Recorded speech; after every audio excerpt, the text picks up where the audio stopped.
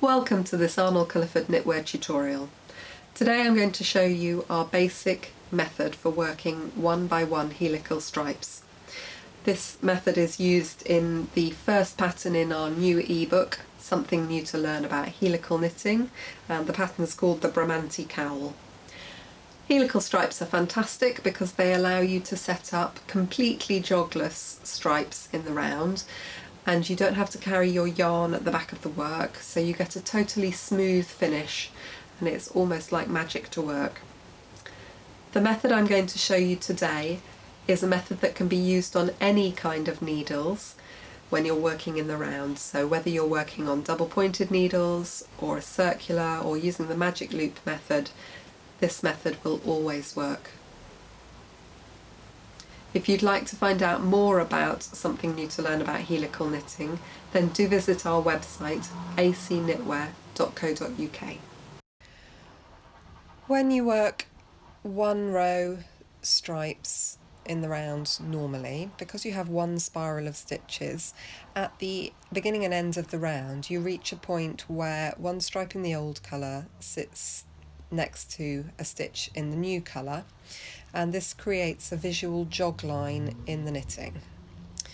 So when you work traditionally you also have to carry your yarn up the inside of the work at the end of the round and so you get a bit of a ridge as well. Working helically sets up multiple spirals of stitches and so every stitch in one colour always sits next to the same colour stitches and so you don't get that visual jog and you never have to carry the work up the wrong side. Here's a sample that's been knitted helically and here's where the dark grey has been introduced. This is where the extra spiral stitches has been started and it's been ended up at the top here. But apart from the start and end points, if you look at the fabric, you'll see that the stitches continue completely smoothly all the way round. There's no jog point at all. It's not that the jog has been minimised, it's that there is no jog whatsoever. If you look on the inside, excuse my ends, if you look on the inside of the knitting, there is no point where the yarns have been carried up. It's just completely smooth spirals of stitches. I'm going to show you now how to knit helically to create one by one stripes. We're ready to start working one by one helical stripes. I'm using magic loop method, but this method of working helical stripes will work perfectly well on any type of needle that you prefer to use. So I've knitted uh, most of a round in yarn A. I'm just coming to the end of the round and I'm going to join in yarn B ready to knit with um, yarn B next. So I like to knit my ends in as I go so that I have less work to do at the end of the project. So that's all I'm doing here. I'm knitting with yarn A and just catching yarn B at the back of the work. So I finished my round in yarn A. I'm going to slip my end of the round marker and I'm now going to pick up yarn B that I've joined in at the back of the work and I'm going to knit in yarn B until I've only got three of the yarn A stitches remaining.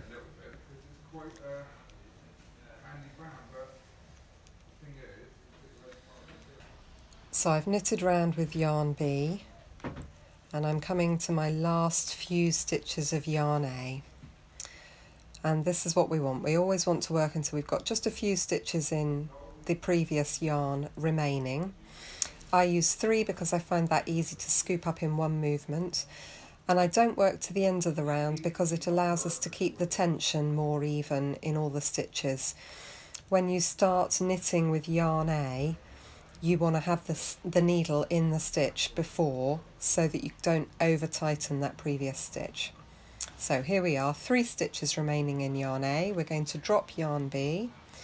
We're going to slip three stitches and the marker as well because it happens to be there. So we just slip them along purlwise and we're going to pick up yarn A ready to work again. Now when we're slipping those stitches, we're not slipping them in order to create a slip stitch in the fabric, we're slipping them in order to move along to reach the end of that working yarn. When we start working with a yarn in helical knitting, it's always the stitch the stitches are next to each other. You're not carrying the yarn at the back there. You just you're slipping stitches in order to get back to where you were. So you're leaving those three stitches unworked for the moment and then slipping along to pick up where you were in the previous yarn.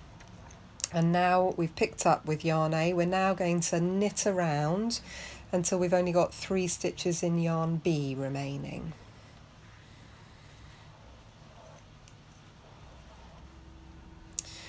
So we've knitted round in yarn A and we've got some yarn B stitches remaining and we're going to keep going with yarn A until we've got three stitches in the previous colour left. So we always work, I always work to three stitches.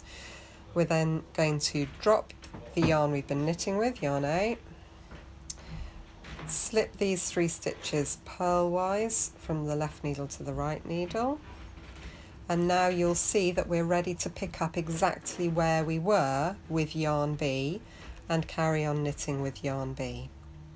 And you can see where I've picked it up and worked with it there. The previous stitch was safely on the needle, so even if I knit quite tightly, I'm not going to over tighten that previous stitch. And that's really all there is to helical knitting.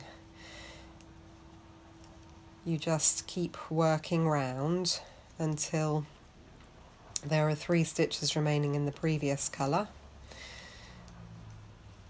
Slip those three stitches and swap to your next colour.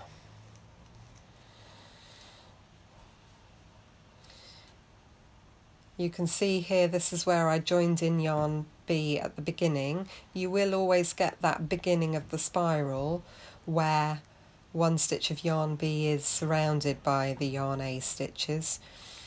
And if you're just working working a short section of stripes, it might be that you think that that's actually less attractive than the normal jog that you'd get if you worked your one by one stripes in the standard way, and that's fine.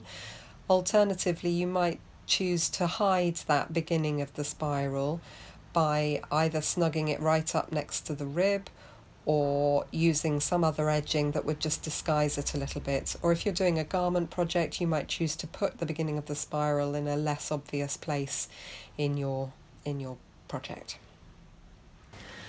I hope you've got a taste of the magic of one by one helical stripes. The method's really straightforward and I hope you have a lot of fun trying it out on different projects.